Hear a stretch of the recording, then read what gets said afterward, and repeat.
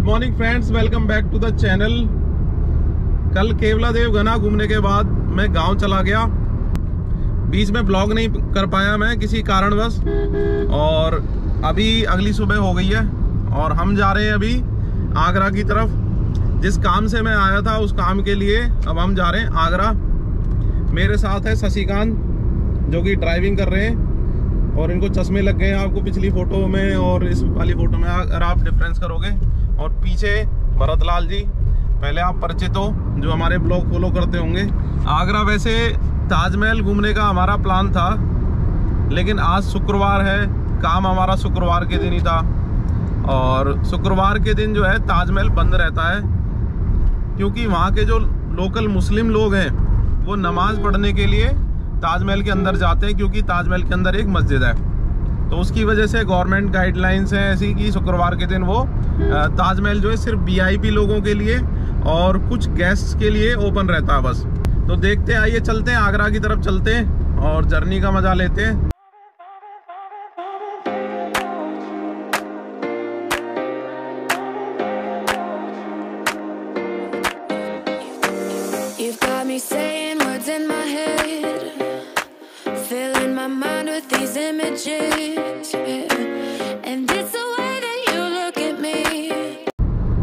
Friends अभी जो city गुजरी है पीछे, वो था फतेहपुर सीकरी। फतेहपुर सीकरी अभी हम रुके नहीं, क्योंकि हमें आगरा जाना है अभी। और आगरा का, आगरा से जब हम रिटर्न आएँगे, तब हम फतेहपुर सीकरी जाने की कोशिश करेंगे, अगर हमारे पास टाइम बचता है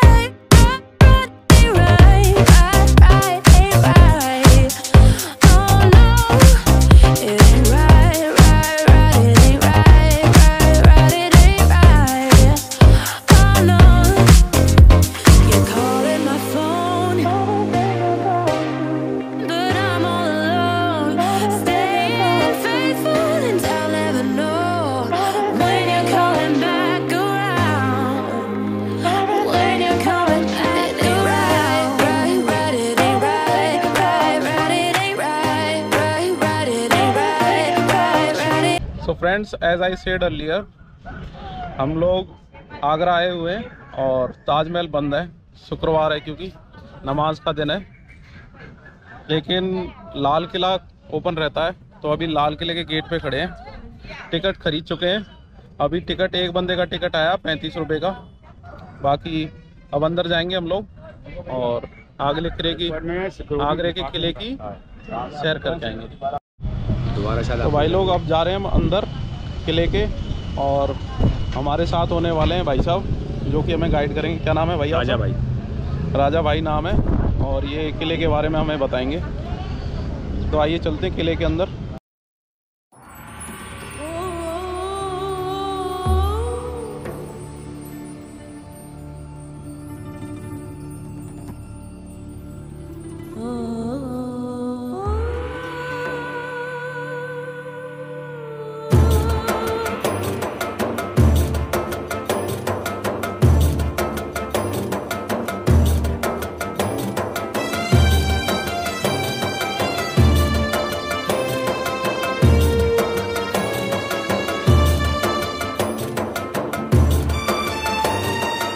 तीनों गेट पूरे जिगजैग बने हुए हैं। पहले गेट पे खड़े होंगे, दूसरा गेट नज़र नहीं आएगा, दूसरे पे खड़े होंगे, तीसरा नज़र नहीं आएगा।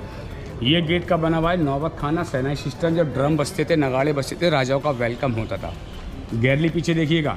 इस गैरली को ब्योर बोला जाता है हीलिंग टाइम में साउंडिंग सिस्टम ऊपर से फ्लावर फेंके जाते थे बिल्डिंग्स के ऊपर से डाउन प्लेस के लिए इस आगरा फोर्ट के अंदर। ये पूरी लाइनिंग अमर सिंह गेट से पूरा आपको ऊपर तक देखने के लिए मिलेगा। और सामने आप देखो, सारे कलर पेंट हो रहा है। भाई, इसको अमर सिंह गेट क्यों बोलते हैं? इसको अमर सिंह गेट इसलिए बोलते हैं सर, क्योंकि मुगल ज़माने में अकबर का चीफ कमांड फौजी था, जिसके कमांड से इस बिल्डिंग को डीलिंग किया जाता था आर्मी के लिए। क्योंकि आर्मी के ज़माने के अंदर अमर सिंह गेट को इसी गेट पर उनका मटर किया गया था छुरा वॉक के पीठ के पीछे वार किया था दुश्मनों ने। उनके मरने के बाद अकबर बादशाह ने इस गेट को उन्हीं के नाम से बना के तैयार किया तो उनका पूरा नाम आता है अमर सिंह राठौर। लिविंग टाइम ये पूरा डिज़ाइनिंग है। अंदर जो कलर स्टोन है, वो आपको मैं दिखाऊँगा बिल्डिंग के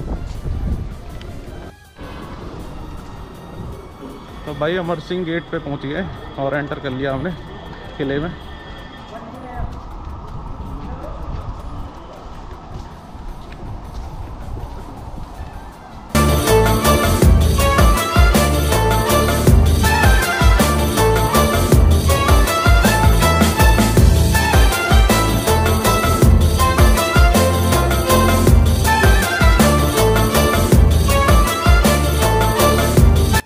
की ये नालियाँ बनी हुई हैं लेफ़्ट में राइट में। एक तरफ़ से गर्म पानी, दूसरी तरफ़ से उबलता पानी फेंका जाता था दुश्मन को रोकने के लिए।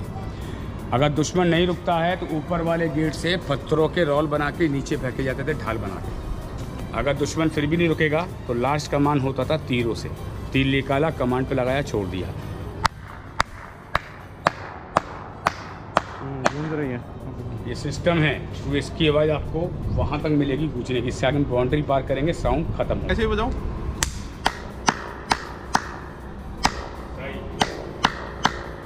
ये तालियों की जो आवाज़ है, दोनों साइड से गूंज रही थी। इधर से भी, इधर से भी, जैसे ईयरपोर्ट्स में या ईयरफोन में आवाज़ गूंजती है, दोनों साइड से सेम वैसे ही गूंज रही थी आवाज़।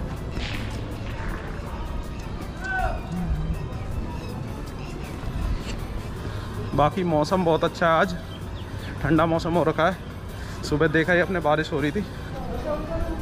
Back side park army area green park पूरा आर्मी एरिया है ट्वेंटी फाइव परसेंट में मुगलों की रेजेंसी बनी हुई आप लोग अंदर से देखेंगे।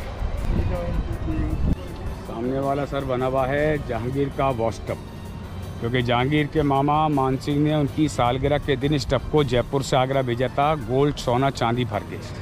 क्योंकि जहांगीर को छोटी उम्र के अंदर स्विमिंग करने का शौक़ था। जब वो बड़े हो गए तो उनके पापा ने अकबर ने इस टब को बिल्डिंग के बाहर रखा था डिस्प्ले एग्जीबिशन के लिए।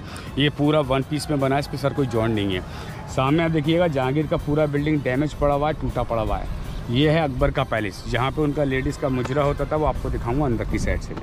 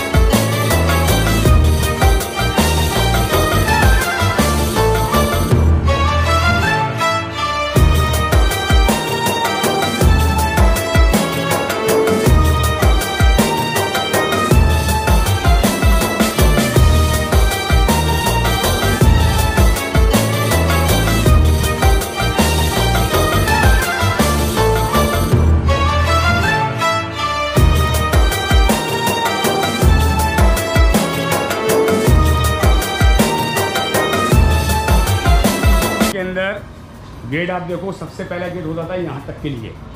इस गेट को शॉर्ट करने की वजह से इस गेट को कटवा के पूरा यहाँ तक बना क्योंकि जब अकबर बादशाह किसी घोड़े पे या हाथी के अंदर आते थे तो उनका हाथी से खाली यहीं तक के लिए उनको परमिशन देते थे आने के लिए। और इसके ऊपर आप देखो, दो फ्लावर स्टोन बने हुए फ्लावर गेट के लिए वाइट कलर के ऊपर का छोटा विंडो है, दो विंडो देखेंगे लेफ़्ट पे दो विंडो राइट पे बने हुए जब भी अकबर बादशाह जोधा का हैंड पकड़ते, हाथ पकड़ के सीधे अंदर एंटर करते थे, यहाँ पे दासियाँ उनका स्वागत करती थी, उनका वेलकम होता था। इसमें बोलते हैं एयर कंडीशन सिस्टम बाहर की जो भी कूलिंग बिल्डिंग में एंटर करेगी, सारी बिल्डिंगें एयर कंडीशन का काम करेंगी. यही मुमताज़ के महल में है, यही अकबर के महल में मुजरा चालू होता था चार बजे क्लोजिंग होता था सात बजे, तीन घंटे का मुजरा. वीआईपी लोगों के साथ में. जहांगीर को जब शराब पीने की आदत पड़ी तो यहीं से अकबर ने उनको हर सिस्टम से दूर रखा. अगर इनको नशे की आदत पड़ गई तो पूरी विरासत हाथ से चली जाएगी. अकबर का रीज़न था कि अकबर बादशाह यहाँ से गए, फतेहपुर सिकरी, वहाँ पे औलाद के लिए मन्नत मांगी तो उनका बेटा पैदा हुआ, उसका नाम रखा था मोहम्मद सलाउद्दीन उर्फ़ जहांगीर। लीजिए, जहांगीर का सिंहासन बना हुआ है बिल्डिंग के ऊपर, दीवान खास में।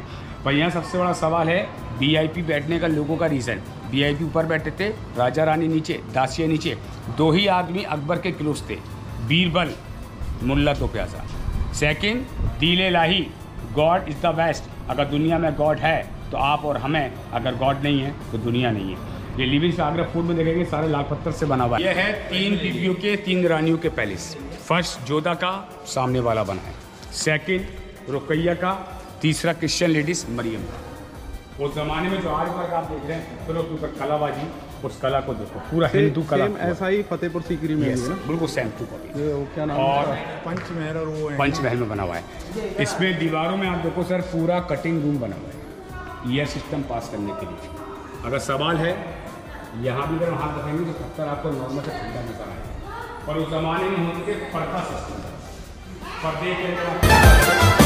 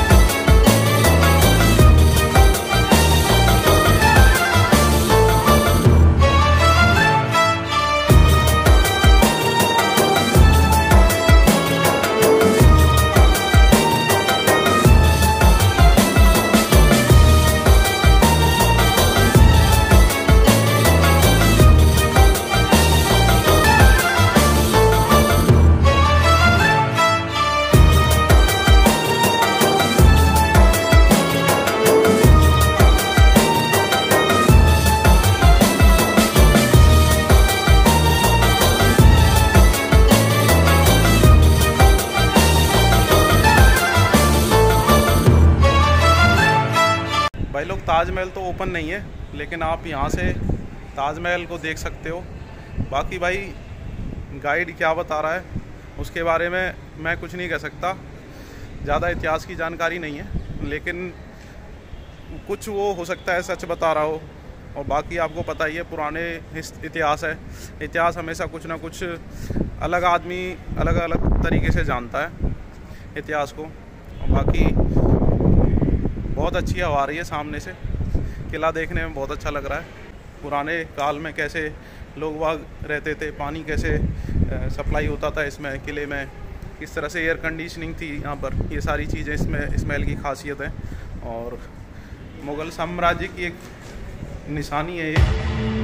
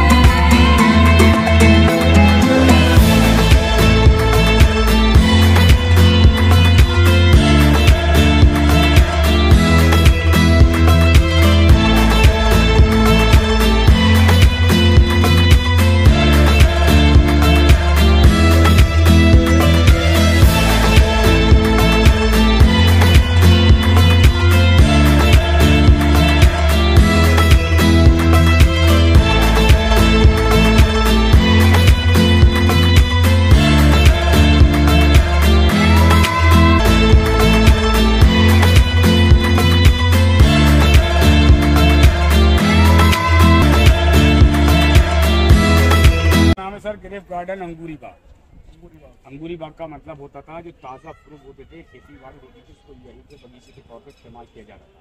और अभी आप देखो यहाँ गिरफ्त की फैल रहा है अंगूर की फैल ये टोटल 150 कमरे का सिक्योरिटी भी है।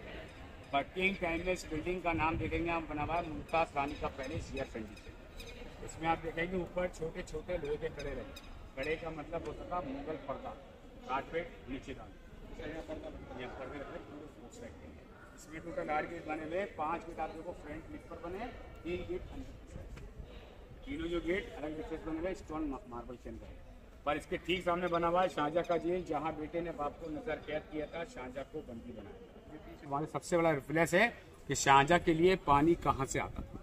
ये सवाल बहुत बड़ा आपके क्वेश्चन में आ सकता है। कि शाहजहा पानी कहाँ से इस्तेमाल करता था वो भी मैं आपको दिखाऊँगा शाहजहा की जेल।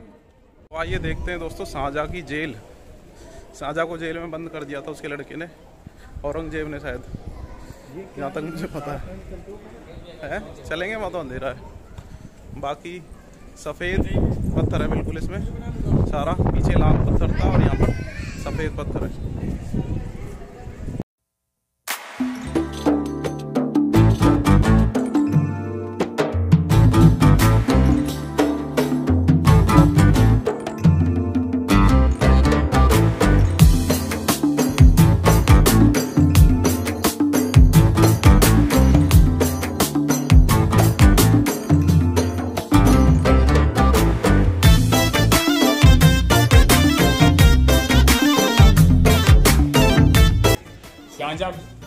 करके नमाज़ अदा करने के लिए जाते थे मीना मस्जिद के अंदर। पर जब बाद में उनके बेटे ने शाहजहा को नज़र कैद किया, बंदी बनाया इस प्लेस के अंदर। इसमें आप देखेंगे सारे नक्काशी के कलर स्टोन लगे बिल्डिंग के ऊपर से बिल्डिंग के नीचे नीचे आप देखेंगे छोटा सा फॉर्मेशन बना हुआ शावर बोलते नहाने के लिए, वो नीचे बना हुआ। है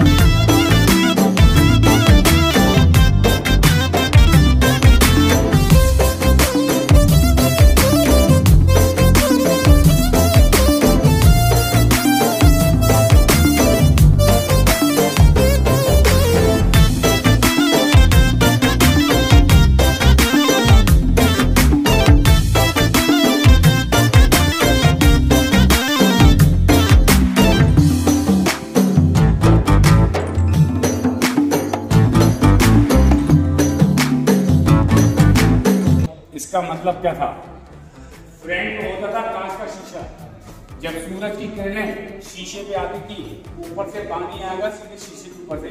तो पानी जो होगा ठंडा, सर्दियों में। जब फॉक्स किरणें उसमें जाती थी, पानी सीधे नॉर्मल ऊपर देन गुनगुनाता ये पानी सिस्टम का अंदर पूरा पानी सप्लाई अंदर सिस्टम से।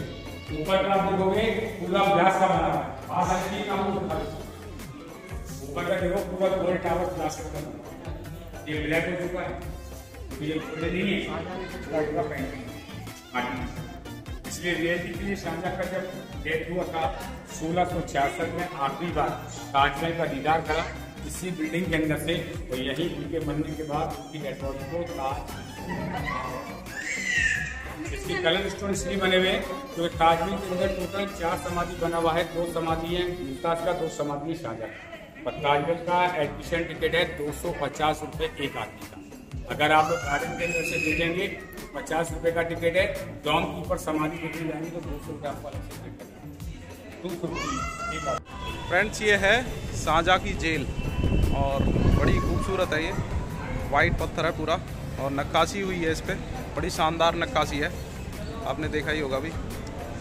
जेल भी बड़ी शानदार थी भाई।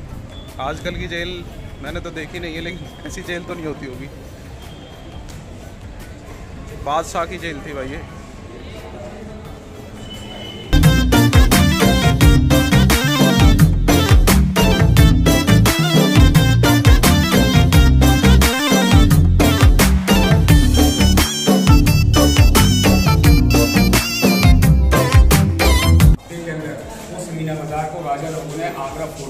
सेलेक्ट करा था।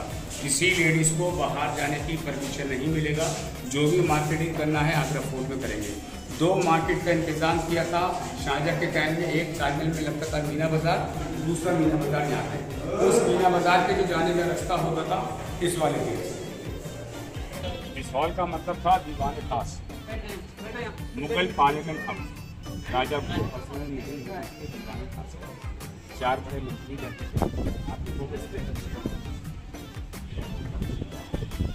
कड़े लगे छोटे छोटे। बारिश में पूरा ब्लैक स्टोन है जो पूरा डैमेज हुआ हुआ है। डैमेज होने का कारण था कि ब्रिटिश लोगों ने जो लास्ट अटैक किया था 1918 में औरंगज़ेब के शासन में तो वहाँ से ब्रिटिश ने गोला छोड़ा ये टूटा बाउंस होके सीधा बिल्डिंग के ऊपर लगा दीवाने खास की डेढ़ फुट का बड़ी का हिसाब किताब दीवाने आम में आम जनता के आगे आपको प्रेजेंट में शो करना पड़ेगा कितना पैसा कितना काम आप लोगों ने करा इसलिए इसको बोलते हैं रिकॉर्ड रूम मुगल ज़माने के हेड ऑफ़िस अब यहाँ से बड़े भाई दोनों जने ताजमहल का नज़ारा देख रहे हैं। बड़ा दिख रहा है छोटा दिख रहा है। यहाँ से नॉर्मल दिख रहा है।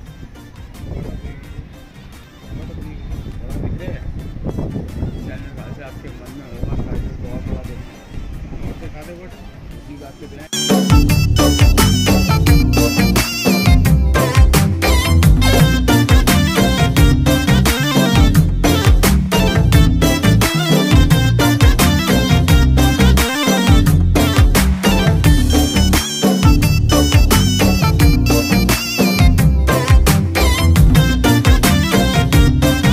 से पीछे आप देख रहे हो, ये था दीवाने आम, जहाँ आम जनता बैठती थी और जो राजा था, वो मेन कुर्सी पे बैठता था वहाँ पर।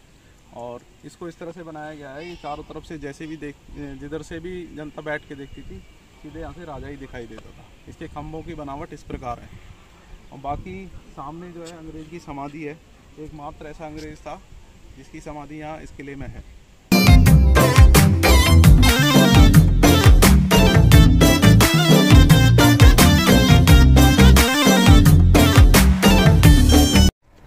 फ्रेंड्स अभी हम कर रहे हैं अंगूरी बाग में सैर।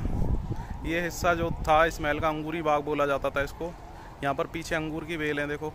और गार्डन है। यहाँ पर तरह तरह की घास थी। हो सकता है उस टाइम पे फ्लावर्स होंगे, पानी होगा, जो कि बड़ा सुंदर लगता होगा देखने में। और वाइट संगमरमर है पीछे।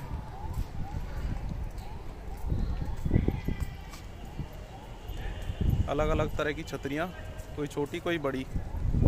और जो ये ऊपर जो गोल्डन कलर का है इनमें ये सारा कांसे का या बना हुआ था। जो पहले जो पानी वाटर सिस्टम था, अभी थोड़ी देर पहले बताया भी उन्होंने। वाटर सिस्टम के लिए लगाया गया था कुछ सिस्टम था पुराने ज़माने का। और इधर की साइड जो है, ये जेल थी उसकी साझा की। औरंगज़ेब ने इसको इधर जेल में कैद कर दिया था। जेल मैंने आपको दिखाई।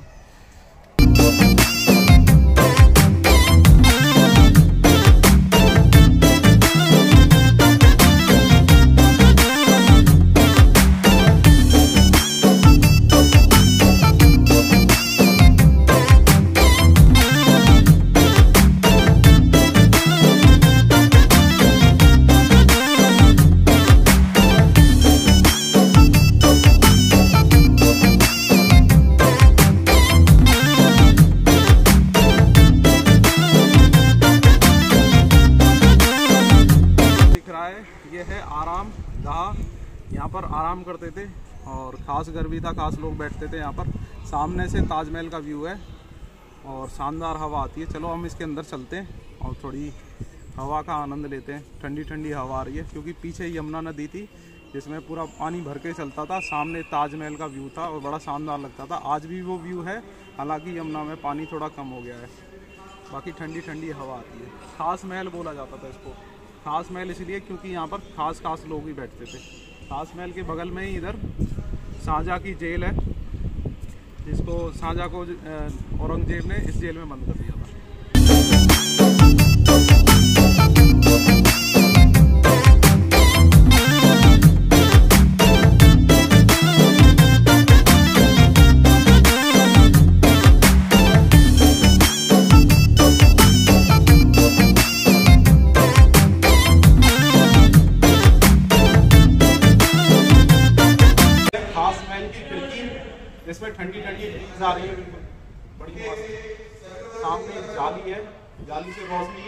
ही छन छन के आती थी और हवा भी बिल्कुल ठंडी ठंडी आ रही है छोटी छोटी कूलर जैसी खिड़कियाँ हैं। ऐसा बिल्कुल एसी एयर कंडीशनिंग जैसा फील होता है, क्योंकि हवा जो है बहुत ठंडी हो जाती है। नीचे गहराई है, सामने जमुना नदी है, पानी भी अभी अभी तो कुछ ठंडा भी लग रहा है और हवा आ रही है। आपको हो सकता है साउंड क्वालिटी अपनी अच्छी ना आ रही हो, क्योंकि हवा बहुत तेज है।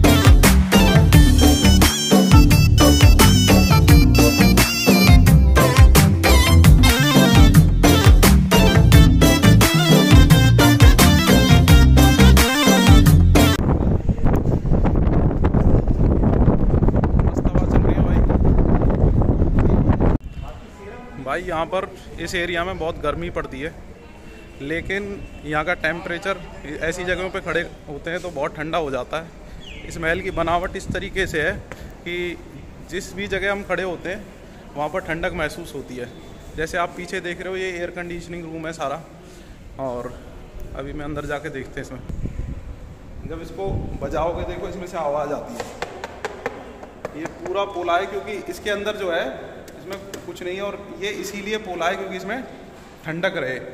कुछ वाटर सिस्टम भी होगा। ज़्यादा मुझे इसके बारे में नहीं मालूम है। लेकिन बहुत जैसे हम महल के अंदर घुसते हैं, बहुत अच्छी हवा आती है और उसके बाद ठंडक का एहसास होता है।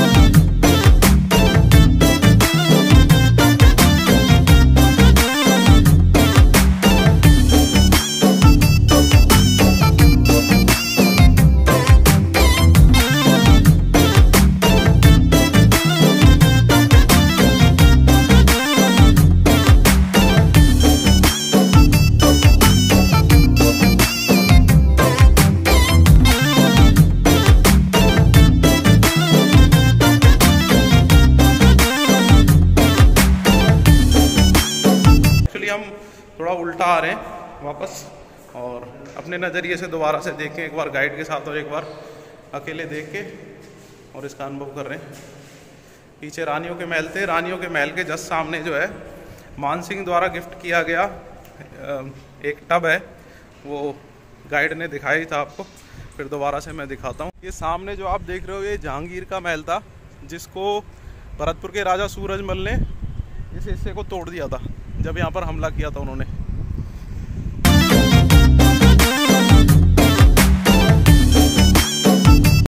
तो यहाँ की विज़िट आगरा फोर्ट की विज़िट पूरी हो गई है हमारी। पहले भी कई बार आ गए हम लोग, और हर बार आते हैं तो मज़ा आता है देखने में इसको। बाकी थोड़ी नॉलेज इस बार मैंने वीडियो में दी है, और ख़ुद भी ली है। पहले गाइड वगैरह की हमने ज़रूरत नहीं समझी, ऐसे घूम के चले गए। इस बार गाइड ने भी हमें थोड़ी सी इन्फॉर्मेशन दी है एग्जैक्ट जिस तरह से इतिहास है उसको जानने की कोशिश करी है। अब गाइड जिस तरह से बता रहा था, आधी चीज़ें मुझे थोड़ी उसकी कॉन्ट्राडिक्ट्री लग रही थी तो मैंने ज़्यादा रिकॉर्डिंग की नहीं क्योंकि किसी पे ऐसे ही विश्वास नहीं कर सकते हम कि वो जो भी बता दे वो सच्चा है, ऐसा नहीं है। क्योंकि जिस तरह से मैंने पढ़ा है उस हिसाब से थोड़ा अलग था उसकी बातों में थोड़ा सा डिफरेंस था इसलिए मैंने रिकॉर्ड नहीं किया।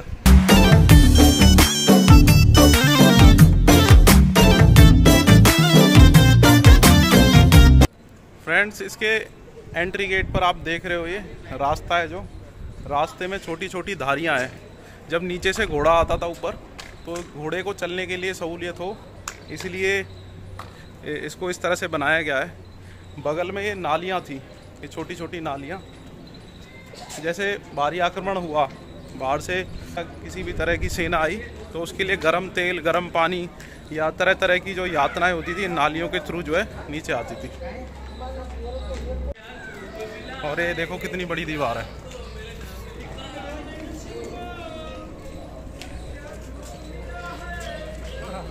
इसकी विशालियत का एहसास इसके बगल में चलने के बाद ही होता है। धीरे धीरे जैसे जैसे हम नीचे जा रहे हैं, उतरते हुए जा रहे हैं किले से, ये गहराई बढ़ती जा रही है। और आप पिछला हिस्सा देखो, कहाँ पर है। और ये गहराई जैसे जैसे हम नीचे जाएँगे, बढ़ती जाएगी। दोस्तों, ये है तोप, जो पुराने ज़माने में युद्ध में इस्तेमाल होती थी।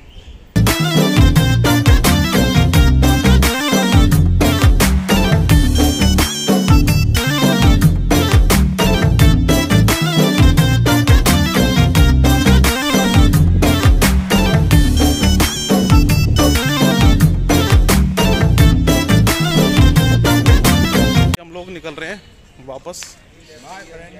हम में से एक बंदा मिसिंग है, उसके पास जा रहे हैं भाई, ये है अमर सिंह गेट ये एंट्री गेट है। यहाँ पर अमर सिंह का मर्डर हुआ था। और अभी हम लोग वापस जा रहे हैं। उसका वो था, वो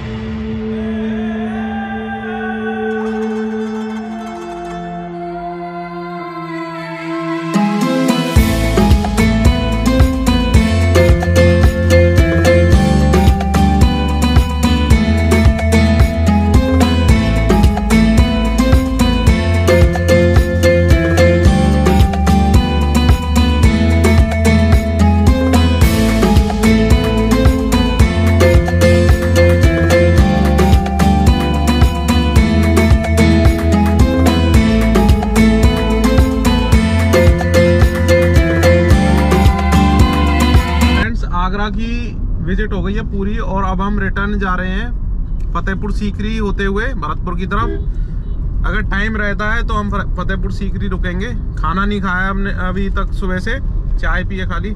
और तीसरा बंदा हमारा आ गया है इसका काम पूरा हो गया है एक्चुअली और पीछे भरतलाल क्या कर रहा भाई? क्या कर रहा? सेब खा रहा सेब खा रहे हैं भाई साहब। बहुत बड़े बड़े सेब हैं। और भूख लग रही है तो सेब से अभी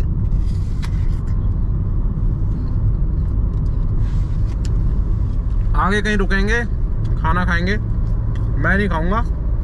मैं थोड़ी हल्की फुल्की चीज़ें खाऊँगा। मैं डाइटिंग पे चल रहा हूँ। और बाकी दोनों कमज़ोर कमज़ोर खाएँगे। सबसे बड़ा कमज़ोर है, देखिए। बहुत कमज़ोर है ये। और